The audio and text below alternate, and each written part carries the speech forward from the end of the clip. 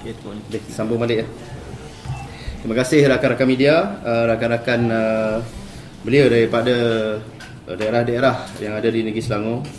Terima kasih kerana dapat hadir pada sidang media yang kita buat pada hari ini.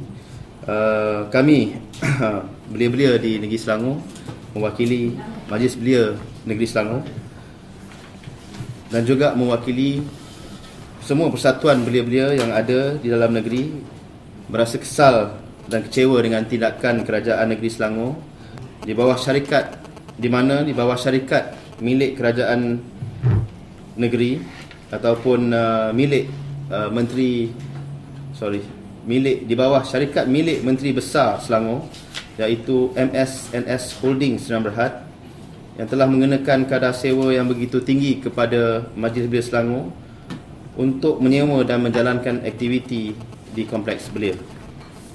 Uh, tersergam indah di Seksyen 7 Shah Alam, bangunan kompleks belia ini telah dibina pada tahun 2001 uh, oleh kerajaan negeri ketika itu.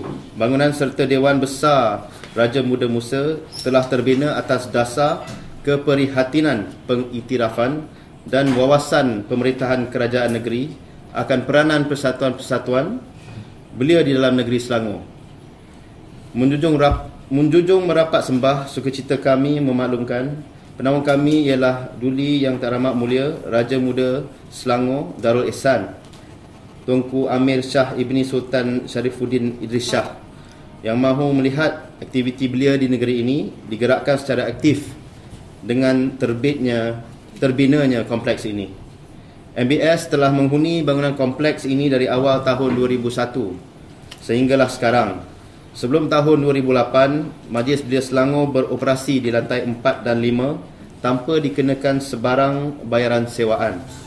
Akan tetapi setelah kepimpinan kerajaan negeri beralih kuasa untuk pertama kalinya pihak pengurusan bangunan yang di bawah penyeliaan, penyeliaan setiausaha kerajaan negeri telah mula mengenakan sewaan kepada kami dengan kadar 1977 sebulan termasuk elektrik dan air pada Januari 2011 untuk searas tingkat. Tanpa belas kasihan, pihak pengurusan seakan memekakkan telinga. Mereka menolak rayuan kami agar tidak dikenakan sewaan bulanan. Dengan rasa pilu, kami terpaksa merelakan dan melepaskan penggunaan tingkat aras 4 kerana tidak mampu membayar sewa yang dikenakan dan hanya beroperasi di aras 5 sahaja. Sekali lagi kami dikejutkan apabila syarikat pengurusan sekali lagi pada awal 2012 telah menaikkan sewa kepada RM5,280 termasuk RM900 penggunaan elektrik, air dan sinking fund dan deposit sebanyak RM10,560 untuk sewa 2 bulan yang ditetapkan. Majlis Belia Selangor adalah persatuan belia, bukan syarikat perniagaan daripada mana kami hendak mencari mendapatkan duit sewa sedangkan kami sendiri tidak mempunyai sumber kewangan yang tetap. Seperti sudah jatuh di timpa tangga, kami terasa terinaya.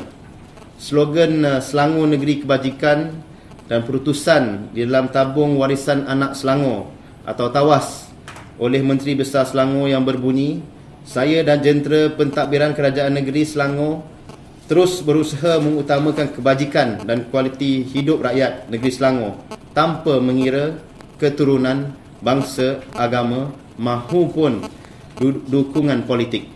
Hanyalah sebagai retorik untuk meraih sokongan rakyat. MBS uh, dianaktirikan oleh kerajaan negeri. Perkara ini sepatutnya tidak berlaku. Persoalannya sekarang mengapakah kerajaan negeri masih menutup telinga dan tidak mendengar permasalahan kami sudah terlalu banyak permohonan pengurangan berkenaan sewaan kami ajukan kepada pihak pengurusan akan tetapi tidak diendahkan. Sejak awal tahun 2008, kerajaan negeri tidak pernah satu sen pun menghulurkan bantuan kewangan kepada Majlis Belia Selangor mahupun persatuan-persatuan belia di bawah payung naungan Majlis Belia Selangor. Mengapakah peruntukan kewangan hanya diagihkan kepada penggerak belia tempatan ataupun rakan muda PBT dan generasi idaman Selangor, GEMS. Di manakah ketulusan dan keikhlasan kerajaan negeri memegang amanah yang satu masa dahulu melaungkan mewujudkan kerajaan beramanah, adil bersih dan berkebajikan. Jika kerajaan negeri betul-betul serius mahu melestarikan persatuan-persatuan belia dan belia di Selangor khususnya, mereka tidak akan mengenakan kos sewa yang tinggi kepada Majlis Belia Selangor untuk menyewa di bangunan ini dan menggunakan prasarana yang dibina untuk kemudahan belia di negeri ini.